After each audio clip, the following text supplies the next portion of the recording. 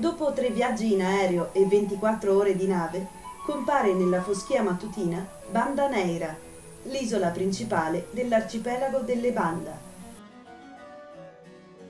Formato da 10 piccole isole vulcaniche nel mare di Banda, si trova a circa 2000 km ad est dell'isola di Giava e fa parte della provincia indonesiana di Maluku, nell'arcipelago delle Molucche.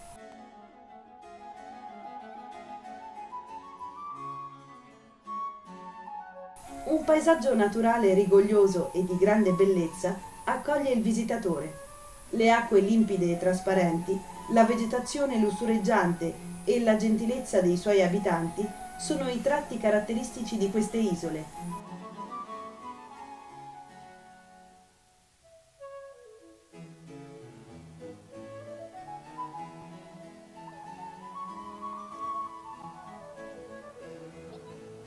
L'assenza quasi totale di automobili permette al visitatore di passeggiare tranquillamente all'ombra delle piante che costeggiano i viali della città. In questi luoghi sembra che anche il tempo sia trascorso più lentamente. Sull'isola non esistono alberghi veri e propri. Molte delle case appartenute ai grandi proprietari terrieri vengono utilizzate come guest house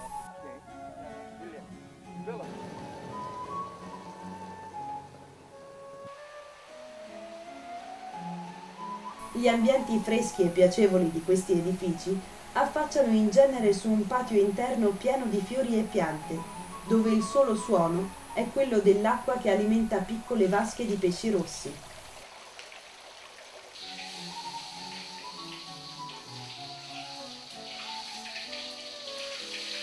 Inevitabile una visita in cucina, che ci meraviglia per la sua ampiezza e un po' meno per i suoi geli.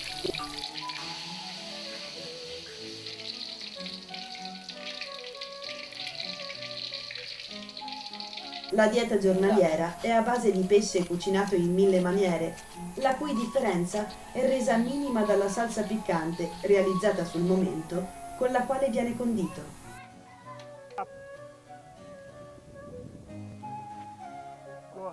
Le fortificazioni costruite dagli olandesi nei punti strategici dell'isola sono ancora presenti.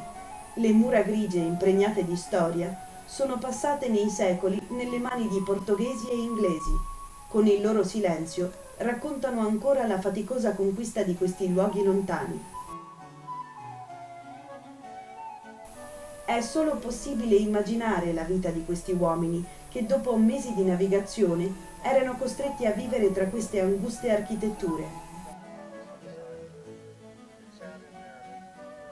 La maniera formidabile nella quale queste isole sono state protette racconta quanto fosse importante la loro difesa per i navigatori olandesi. Le guerre sanguinose con gli inglesi che si sono combattute per il loro possesso avevano un solo preziosissimo obiettivo, il controllo della raccolta e del commercio della noce moscata. Prima di venir coltivata in luoghi più accessibili, questa spezia particolarmente pregiata cresceva infatti solo su queste isole.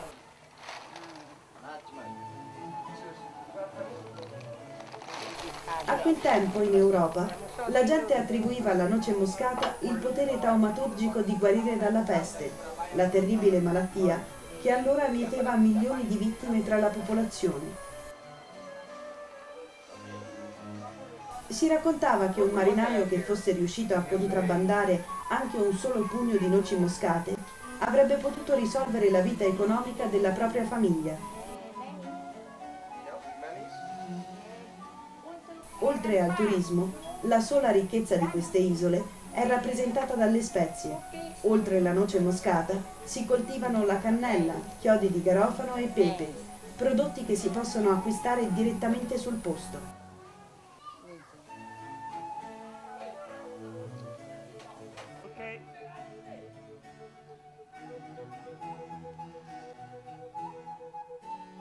Nell'unica chiesa cristiana dell'isola, sono ancora visibili le pietre tombali e gli stemmi nobiliari di questi conquistatori, che nel XVII secolo pagarono con la vita la propria sete di conquista.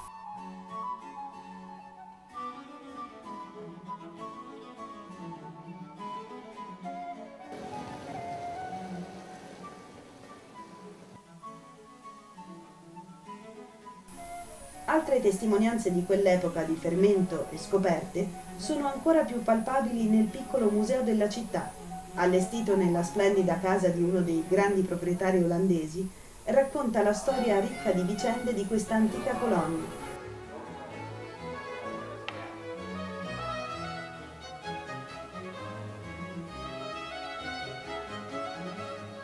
Immersa nel verde degli alberi, la città è costituita da antiche case coloniali, i cui colori pastello danno a questo luogo un aspetto di piacevole tranquillità.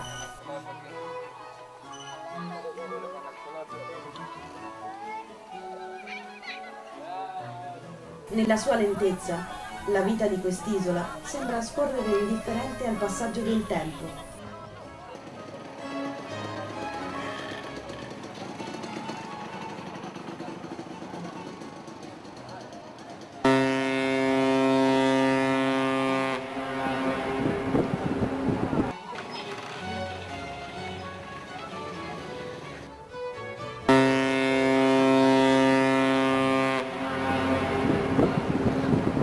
Suono ripetuto della sirena annuncia l'arrivo della nave.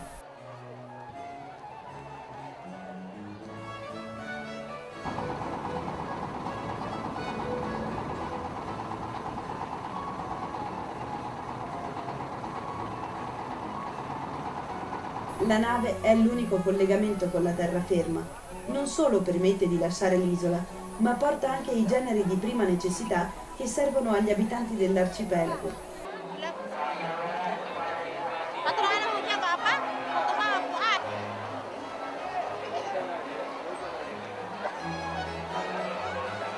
Nell'animazione del porto si può assistere a un vero e proprio arrembaggio pacifico. Si scarica la merce in arrivo e si carica quella in partenza. Per lo più grandi sacchi di noce moscata.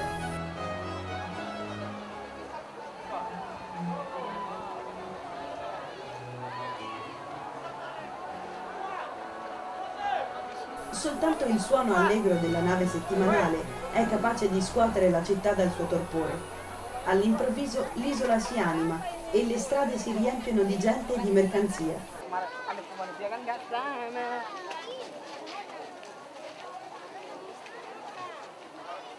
Già dal giorno precedente, una flotta di piccole imbarcazioni è giunta in città per ricevere le merci in arrivo dal continente e anche un'occasione per incontrare amici e parenti che vivono su altre isole.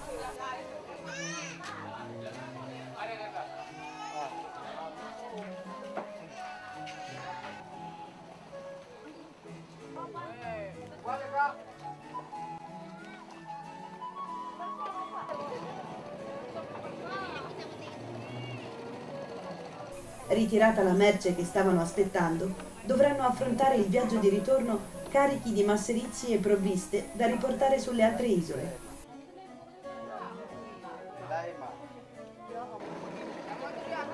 Il viaggio sembra una scommessa.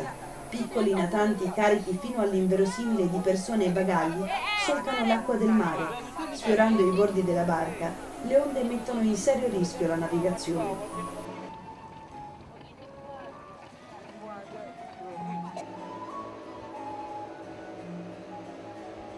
Negli occhi dei passeggeri si coglie un'ombra di paura, ma ogni volta la meraviglia di questo paesaggio compensa dei rischi del viaggio.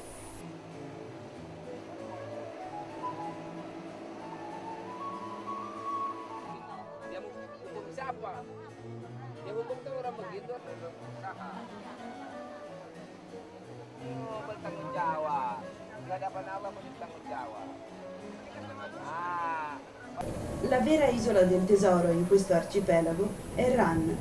È qui che sorgono le piantagioni di noce moscata. Essendo priva di porto, si raggiunge la spiaggia sbarcando con la bassa marea come si è fatto per secoli.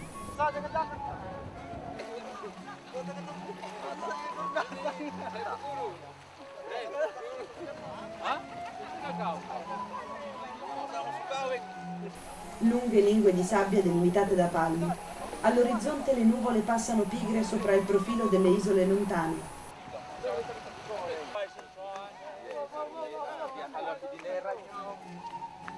Nulla pare essere cambiato su questo scoglio, dove la vita sembra trascorrere scandita dai ritmi della natura.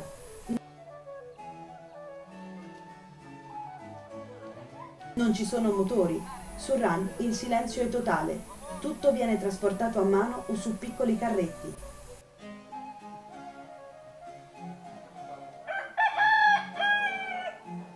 Le basse case coloniali sono ricoperte di fiori tropicali dai colori sgargianti, è difficile immaginare le tragedie che qui si sono svolte centinaia di anni fa, se non attraverso le vestigia lasciate dai conquistatori. Ma la vera padrona di questa piccola isola è lei, la pianta della noce moscata.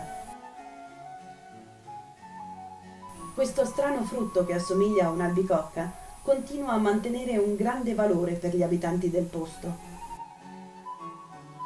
Regole non scritte dicono che il frutto della noce moscata appartiene al proprietario della piantagione finché rimane sulla pianta. Nel momento in cui maturando cade al suolo, diviene proprietà di chi lo raccoglie.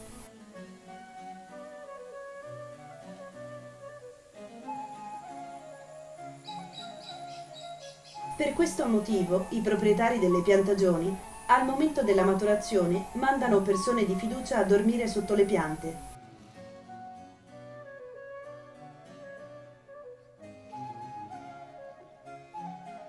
La lentezza della vita su queste isole è scandita dai tempi di maturazione della noce moscata.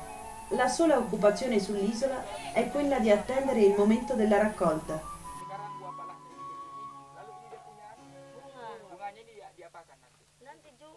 Del frutto dell'albero della noce moscata si utilizza tutto. Con la polpa si producono marmellate e sciroppi.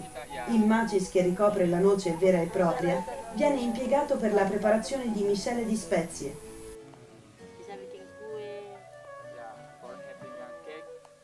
La noce, grattugiata, è l'ingrediente indispensabile in molti piatti della nostra cucina.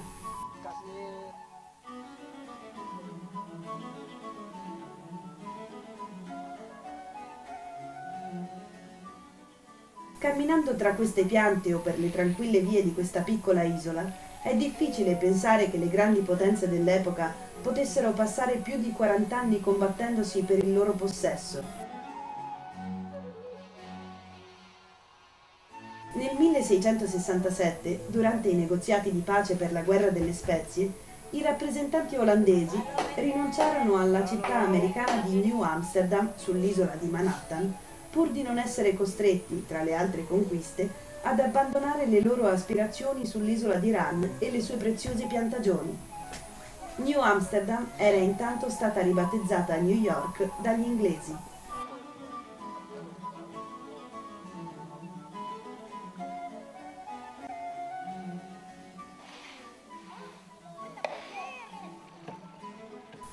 Oggi, tuttavia, lontano da queste vicende sanguinose, anche se ignaro della storia, il turista che si trova a passare in questi luoghi non può che apprezzarne la bellezza selvaggia e la tranquillità.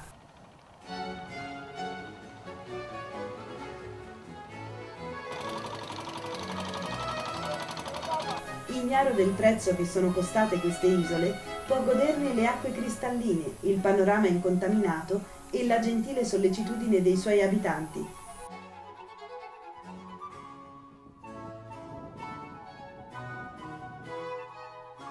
Attratto dal fascino di questo mare pieno di storia, può spingersi lontano per raggiungere anche l'ultima piccola isola sul filo dell'orizzonte.